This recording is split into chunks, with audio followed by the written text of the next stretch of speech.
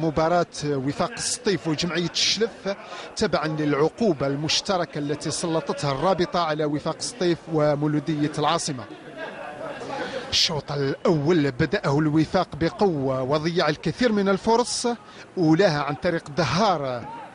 ثم ضيع محمد بن يطو ما لا يضيع عند دقيقة 23 وهي فرصة هدف محقق. محاولة ثالثة كان وراءها هذه المرة من لولي فريد وأبعدها الحارس الشلفاوي صالحي الدقيقة 37 حكم اللقاء السيد فاروق حوسنية يصدر قرارا بطرد الناطق الرسمي لأولمبي الشلف عبد الكريم مدوار من دكة الاحتياط.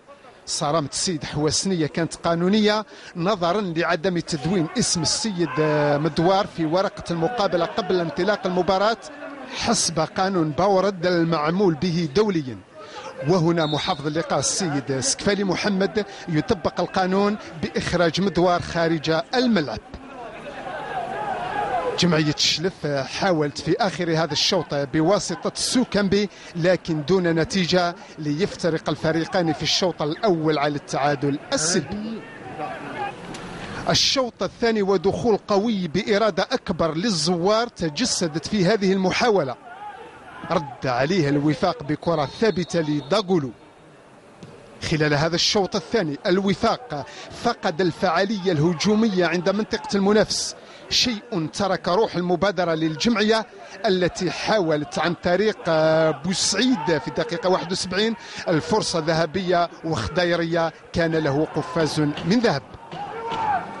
بعدها مباشرة في الدقيقة 72 جمعية الشلف يفك الشفرة المعقدة بتوقيع هدف اللقاء بواسطة نعماني الذي وقع برأسية محكمة هزت شباك الحارس سفيان خضيري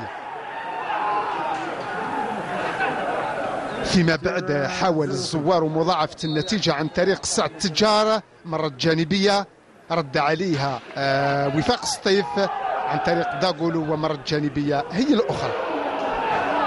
محاولات الوفاق الأخيرة لم تجد طريقها إلى الشباك وكأن الفعالية الهجومية غابت عن النسر الأسود. لتختتم المباراة بهدف ثمين لجمعية الشلف وخسارة غير متوقعة للوفاق.